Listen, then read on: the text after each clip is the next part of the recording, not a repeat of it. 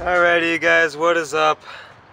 Welcome to today's episode. I'm not sure what it's about yet, but it's exciting.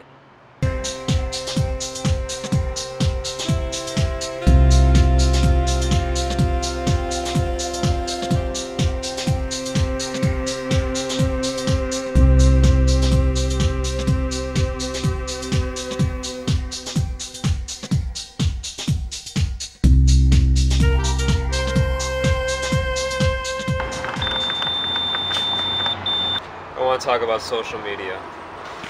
What is it about social media that we love so much? That we're like addicted to it, we're dependent on it? It's like a double edged sword. It's like a tool, but it can also destroy us at the same time.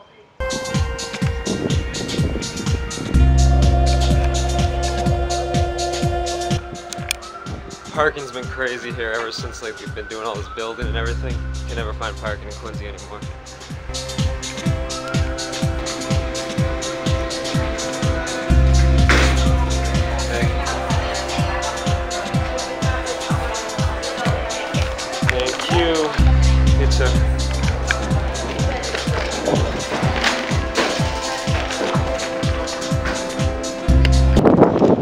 Have been going to this place for a while now.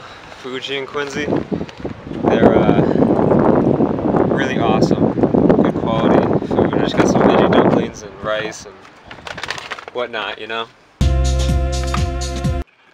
So yeah, you guys, um, just to like finish the thought up with social media. I'm not gonna get too deep into it, but it's this double-edged sword that can be used as a good thing and it can be used as like a bad thing too. It's like it's this like double entendre, you know what I mean? And right now by doing this and what you see on my Instagram and stuff, I'm utilizing it as like a tool. It's like marketing. It's like this thing bigger than just my own like satisfaction. It's like something I'm giving to you and to myself. But I think where it goes wrong is when we start looking to this and to and to this as a means for our happiness and as a means for our own like satisfaction and our own self-worth. And i think that's totally the wrong way to approach it. I think it's a tool just like a screwdriver is a tool just like a cell phone is a tool to call somebody. I think that's a very important tool in the 21st century.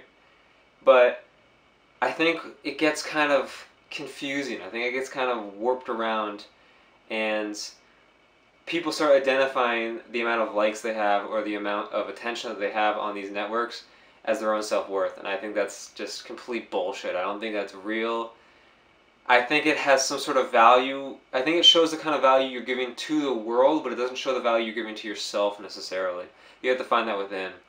And um, i think we've all struggled with that. I'm not currently i'm kind of detached from that right now but certainly in high school and stuff, I cared about if I posted a photo and it didn't get likes or it got likes or this and that. And I think it's it's very important that we make this distinction to the kids coming up, and we make it known to these kids coming up that this is not the answer. This is not how you you know need to identify yourself with. Like you, you don't need to be aligned with this idea. It's a tool, just like anything else.